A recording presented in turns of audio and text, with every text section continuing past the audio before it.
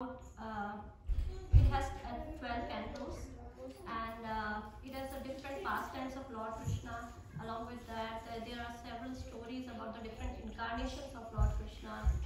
And uh, there are other stories also, like uh, it's kind of an encyclopedia, we can say, where we get all the scientific knowledge as well that how the universe came in place, how the entire creation came in place, how Lord Brahma created the entire universe.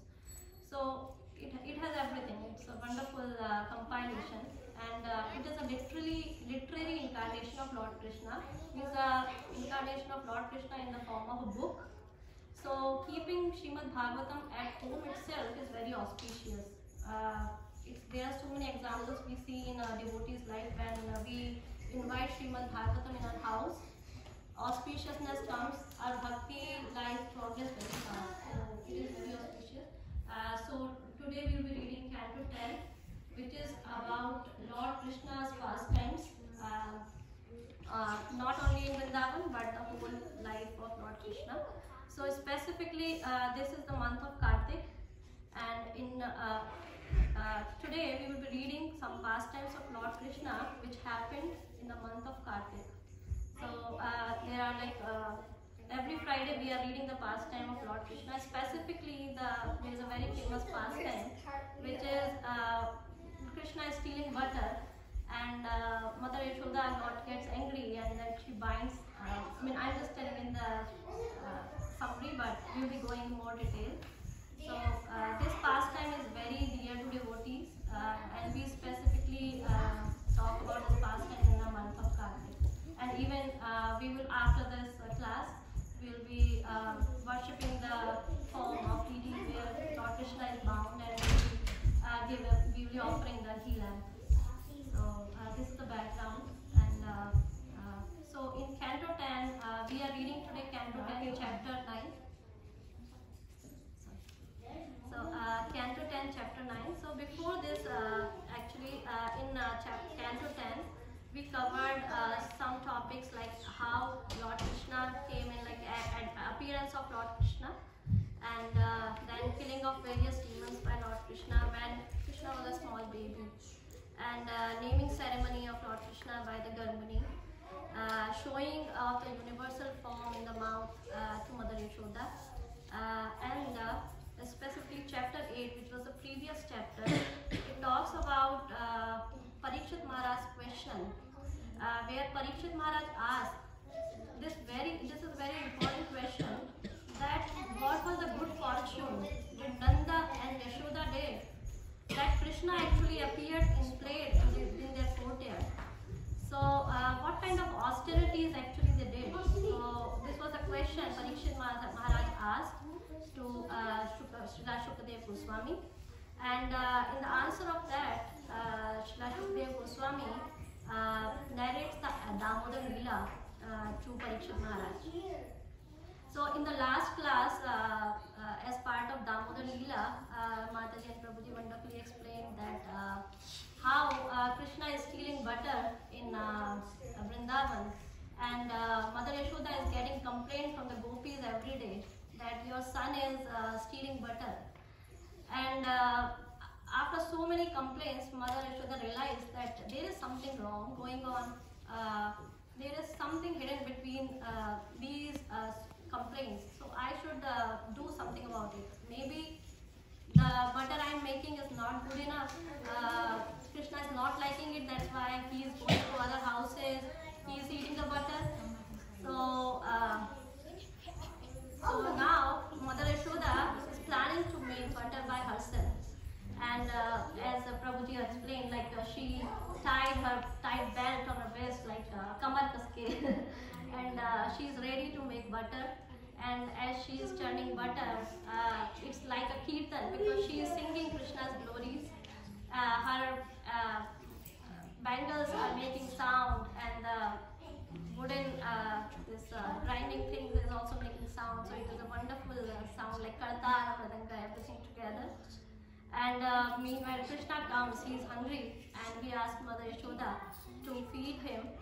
And uh, Mother Yashoda take him to on her lap, and uh, she starts feeding. And uh, meanwhile, uh, the milk over the uh, stove. I mean, that time we had the that earthen uh, chula kind of the milk started boiling. So she smelled it, and she had no other way but to leave Krishna uh, down and uh, to rush away. So as Mother Yashoda is leaving, Krishna uh, is very angry because Krishna wants uh, one pointed attention of his devotees. He, do, he doesn't want, okay, you do everything and then I will be last. He wants the first priority and along with that the attention. mostly we, we miss that, but uh, uh, that's what Krishna wants. So he is very angry and uh, Krishna is biting uh, his red lips as mentioned in the Bhagavatam. So he is biting his red, uh, red lips with a white teeth. And uh, our acharyas explain it that the red lips of Krishna uh, represents uh, the anger or mode of passion and the white teeth represents the peace or mode of goodness. So whenever any devotee gets angry, he should subdue that anger by uh, the peace or mode of goodness. So the devotee should try to be in the mode of goodness rather than passion in order to uh, uh, serve Krishna in Krishna's service. So this is a wonderful example we can learn. And uh, then uh, by boiling the milk, uh, also we, we learn one lesson. In the spiritual world, nothing is inanimate. Everything is animate. Uh, like everything is has soul. Uh, the milk can talk. Uh, the wooden motor can walk. Flowers can also talk. So everything is spiritual. Uh, everything has soul. And uh, so that, that milk, which is coming from the best cows, selected cows, and uh, the milk is thinking that Mother Yashoda's milk is so pure and so tasty. Why will Krishna drink me? Uh, I have no value in front of Mother Yashoda's milk. And the think by thinking this, the milk is trying to commit suicide by jumping into the fire. So by thinking that uh, the milk is started boiling and it's trying to jump into the fire. So uh, we also uh, we can learn from this that uh, we should try to um, as much as we can try to dedicate our life in the service of Krishna. Is wonderful because if we are not serving Krishna, our life is useless. As uh, the milk is also thinking. So um, going forward. Uh, as Mother Yashoda leaves Krishna, Krishna starts, uh, sorry, so, so Krishna was very angry. He is biting his lips and he broke the pots, he created a mess, there are yogurt all over and we can see the stone pieces all over. It's, it's so mess. And uh, Krishna is Krishna is not there. so Mother Yashoda came back and concluded that uh, it is a work of Krishna because he was the only person there, no one else. So uh, now she followed the butter uh, footprints of Krishna everywhere. So uh, she followed the footprints, and not only the footprints, there was a tinkling sound of Krishna's bells also. And uh, she started following, and finally uh, she found that Krishna was sitting uh, on a grinding mortar which was upside down, but she came from the backside, and she saw that Krishna is feeding butter to all the monkeys. So she was more angry that okay, if he eats butter by himself, that is okay. But he is giving to monkeys who always create trouble for me. Monkeys are like in Vrindavan a big mess. Now also we can see that they are literally like uh, creating trouble for the devotees. Sometimes they take uh, uh, like uh, purse or like spectacles or every time. So that time also, yes, yeah, beads, beadbags. So that time also uh, it was a big trouble. Monkeys were a big trouble for Mother Yashoda. They will sometimes break the pot, sometimes steal the butter, sometimes do something. So Mother Yashoda was not very happy with the monkeys. And now when Mother Yashoda came, Krishna, it was Krishna's back. Krishna was not able to see Mother Yashoda, but he saw in the eyes of monkeys that Mother Yashoda is there. And monkeys already started running because they saw uh, Mother Yashoda is there, and they were all already they were like uh, uh, uh, scared. They were thinking, oh, Mother will come and she will start beating us. So when monkeys started running, and Krishna saw, oh, Mother Yashoda is here, he also started running. And Krishna, when he runs, he never runs straight. Like we see all the kids, like they are always running zigzag like this. Somewhere when butter is all on the floor, Krishna is sliding down and just running. And other side, this is Mother Yashoda, uh, who is a bit old and her bodily features are also a bit heavy as mentioned the verses. So she cannot run so fast. So when she is running, her sari is loosened up, her hairs are loosened up, the flowers are falling down from her hairs. So she is just taking a pause, gasping, making her, uh, tying her sari again, and then again she starts running. And she has a stick on her hand uh, because she was very angry. She wants to take, uh, teach Krishna a lesson. Uh, so, uh, Krishna says in Bhagavad Gita, uh, Aham sarvasya prabho matta sarvam pravartate That I am the source of all spiritual and material worlds. Everything emanates from me. But we fail to understand the sweetness of Krishna, uh, the beauty of that uh, and the attraction. So in this world, whatever relationships we have, either it is a wife, husband-wife relationship, the mother and child relationship, every relationship have sweetness. There's rasas. So when we read this verse from Bhagavad Gita, we difficult to understand that sweetness also coming from Krishna. He is Rasaraj. So when we see read this, uh, these pastimes of uh, Krishna with Mother Yashoda, we understand that he is the source of these sweetness also, the rasas of relationships also. So, so beautiful uh, to read all this. So, um, even when we think of God, uh, it is somebody who is very great, uh, somebody who is very special. But in Vrindavan, it is different. uh, in Vrindavan, uh, they don't, like Gopal and Gopi, they don't con- consider Krishna as God. Uh, they don't, even even though they know, but he don't want to uh, consider that Krishna is God. So in this context, our acharyas explain that uh, there are five kinds of knowledge. Uh, the first knowledge is called the Jada Gyan, or the materialistic knowledge we get in this world, uh, which is uh, compared to ignorance or darkness in terms of uh, the spiritual uh, sense. Uh, it is nothing more than the, the darkness. Then the second level of knowledge is called the Atma Gyan, uh, the knowledge of the matter and spirit. So understanding that okay, I am not this body, I am the spirit soul, and embodied in this body. Understanding all this uh, we call Sankhya Yoga also. So uh, it is it is the second level of knowledge. And the third level uh, is called the impersonal knowledge, or we call it Nirveda Brahma Jnana. So uh, in this, uh, we we know the Mayavadis they study like God is formless, and I am God, you are God, everyone is God. So which is like very confusing uh, to understand, especially for the bhakti yogis. Uh, so at fourth level, it is Ishvara Ashwarya Jnana. Ishvara Ashwarya Jnana is the knowledge of uh, Vishnu, Lord Narasimha, Lord Rama's like the majestic opulence. When we study, uh, when we worship them, we admire them, we adore them, we approach them because they are God. In that uh, uh, emotion, when we approach God, then it is called Ishwar uh, Ashwarya. And uh, so uh, there are some examples we see during Mahabharata and uh, Krishna's pastime also that the devotee has different rasas like uh, he is in Vatsalya rasa, Sakhya rasa, Madhurya rasa and suddenly the mood changes to all reverence. Uh, any any suggestion like when the mood was Sakhya, Madhurya, Vatsalya, any of these, and suddenly it changes to uh, awe and reverence, like Ishvara, Ashwarya, kind of. Uh, any suggestion? Examples Yeah, any any person. Yeah, there are so many, right?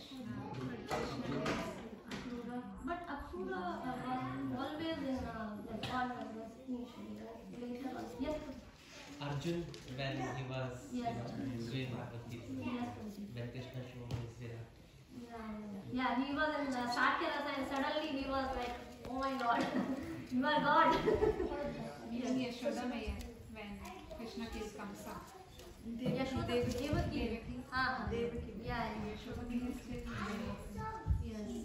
Yashoda Maya didn't see that. No, Devaki Yes. Maya was like she was full of uh, uh, motherly love for Krishna. But when when Krishna killed Kamsa, then she understood that uh, this is Narayan himself. So she bowed down. But Yashoda Maiya was never uh, ready to consider Krishna as God. Yeah, She, she never changed her feelings.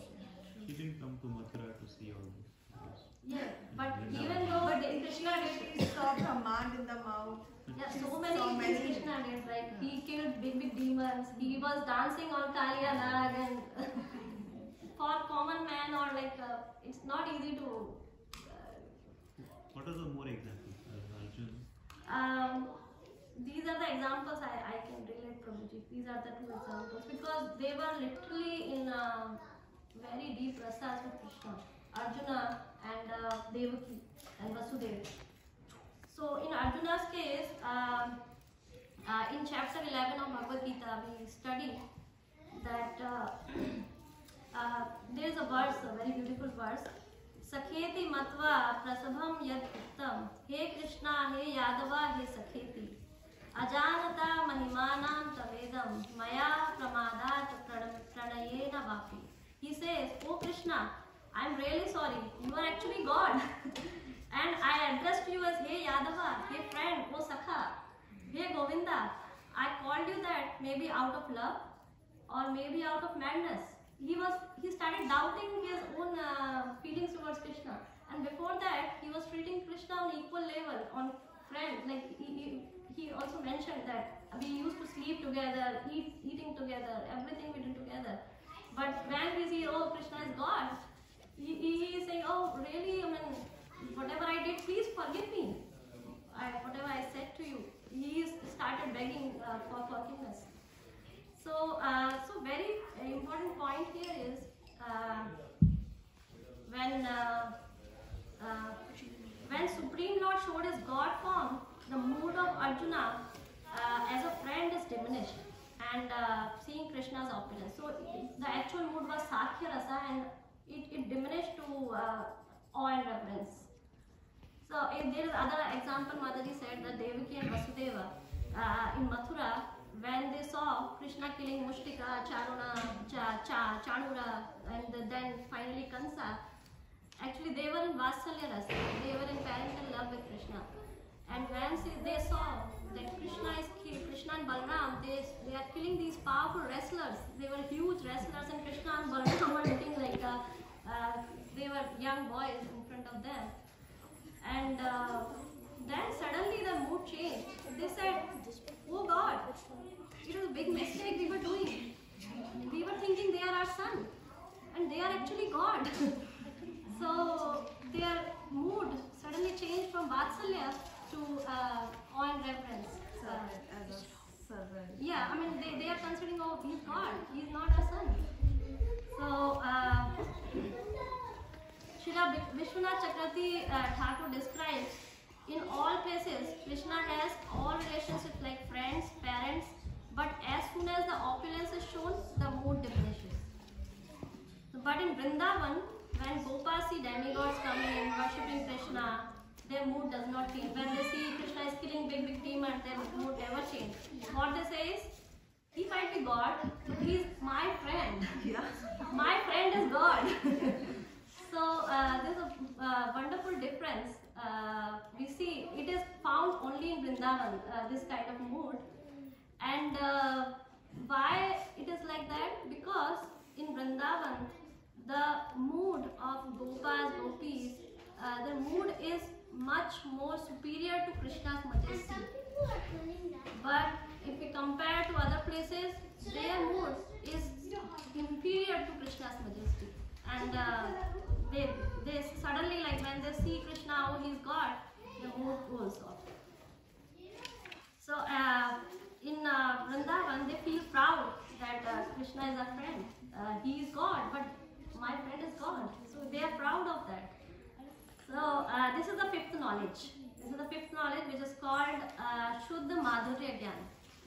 And uh, their love is so pure that there is no tinge of uh, knowledge.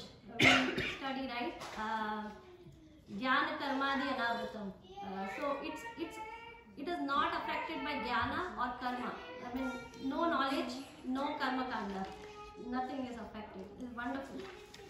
So, uh, but we should be cautious on this point also that uh, being sadhana bhaktas, we should not jump from uh, the first stage, which is jnana, to the last stage, madhurya, uh, madhurya rasa. We, we see in our uh, in Vrindavan or so many places there are so many examples when uh, people uh, wear dresses like the gopis and they dance. Uh, so these are called sahajiyas, uh, which is like directly jumping. Sahajiya, sahaj. Sahaj is like taking easy. So they are taking it very easy. They're directly jumping to uh, the stage of Madhurya, which is not correct. We should uh, follow other footsteps of our senior Vaishnavas, follow our uh, process of bhakti, and gradually, under the direction of spiritual master, we should progress on this path. So uh, now, this is the position of mother Yashoda. She is a simple village girl, but Krishna is who is the supreme personality, and he is running uh, in fear. He is running in fear by Mother Yashoda, which is like very inconceivable because Krishna is fearful. who is not supposed to be? Uh, he is a who, fear personified. Fears Krishna. So uh, here uh, I have one question. Uh, if someone can suggest me, please. That was Krishna really fearful, or he was just acting that he, he is fearful? We had we had heard from Vaishnava that he was actually stick was. Uh-huh. Sure. Thank you. You had a doubt or you were engaging us in the discussion? yes. yeah, I also after studying only I realized. I did not know Parshad Prabhuji explains very well that Ah. he was actually very fearful. yeah, yeah. Yeah, in this context, actually, uh, there is one text also, uh, by Queen, Queen Kunti's uh, prayers, which is uh, one uh, Srimad Bhagavatam, Canto 1, Chapter 8, Text 31, where uh, Queen Kunti says, My dear Krishna, Yashoda took up a rope to bind you when you committed an offense, and your perturbed eyes overflooded with tears, which washed the mascara of your eyes, and you were afraid. Though fear personified is afraid of you. This sight is very bewildering to me. And yes, because Mother Yashoda's parental love is overpowered Krishna's majesty, that's why Krishna is fearful. So here also, because Mother Yashoda's love is too intense that Krishna forgot his majesty. He is thinking, I'm I'm Mother Yashoda's child and I'm feared. I'm fearful. So I would just like to conclude uh, because we read till this verse where uh, that uh, every uh, year in the month of Kartik we celebrate this pastime. Here Lord Krishna is tied. He was chastised by Mother Yashoda. Uh, ideally, we should be we should not be happy about oh some kid is got got tied, he is chastised. But we are keeping the picture of this pastime, worshipping uh, every day in the month of Kartik. So, uh, why actually we are doing that is since it is shown that the devotees' unconditional love, unconditional, unmotivated love is far superior, and then Krishna's love towards his devotees. So, it is an exchange of from both sides, and that is like the highest uh, pleasure in the path of bhakti, higher rationalization. Thank you. Uh, please forgive me if I